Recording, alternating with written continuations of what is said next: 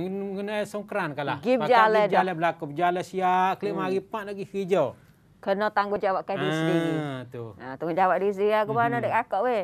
Setelah mana klik pada songkran dah, Mhm. songkran tak kira lah pergi zat orang tua, pergi zat orang tua. Aha. Tapi bagi orang tak ada zat orang tua tu ambil peluang ni di dalam Hmm. masa cuti songkran, cuti panjang derek gini, give jalan. Hmm. Ha, give jalan ni kat berkumpul berjanji kelo dengan Hmm. sang gitu gini ramai dek kakak. Beripu-beripu Oh, juga. weh. Ha, klik mari dah tu. Kena ATK dulu lah. Untuk selamat diri, selamat dah. masyarakat, selamat keluarga. Ya, tanggungjawab dia sendiri adik kakak. Mhm. Jadi pada kemarin hari, hari yang pertama. Hmm. Kemarin hari hari ni Selasa dah. Hari Selasa kemarin pergi main kerja tu. Kata ramai, kata ramai benar maring ni. Bukan di tempat tu dia.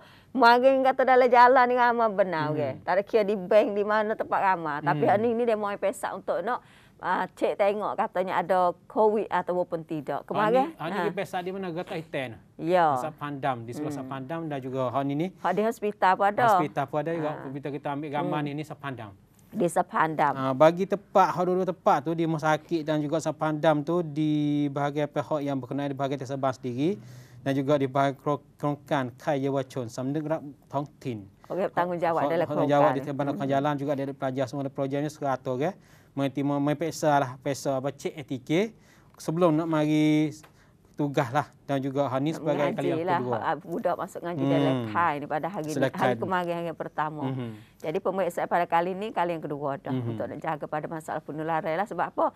Budak-budak tersebut tu dia pergi jalan Mhm. uh, sokran, klik pergi roh orang tua, klik pergi kampung, pergi jalan pergi kepada wilayah lain.